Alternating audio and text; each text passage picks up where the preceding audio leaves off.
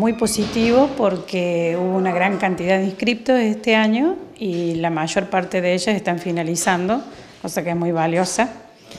También muy valioso que tenemos este año máquinas, entonces es mucho más completo el curso y los materiales que las chicas pueden el año pasado se veía más en teoría, este año teoría y práctica, ¿sí? Las prendas se pueden realizar dentro del taller, porque hay mucha gente que no tiene una máquina en su casa y acá el taller ya les ofrece prácticamente completo.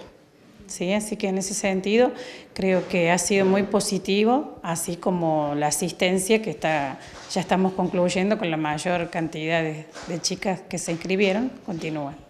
¿Y cuál es la propuesta que han estado trabajando en este taller? Usted recién mencionaba que apuntan a lo técnico específicamente. Exacto. Justamente el nombre del taller este es diseño de indumentaria, ¿no? Porque se enseña la técnica para hacer la moldería y diseñar prendas. O sea, hay mucha gente que ya tiene incluso su propio taller, que cosen desde hace años, pero que no conocían la técnica para realizar la moldería.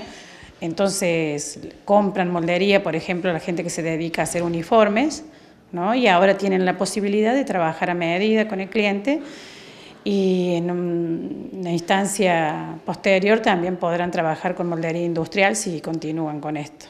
Así que es el diseño de prendas en general. Este año concretamente trabajamos pantalones y abrigos.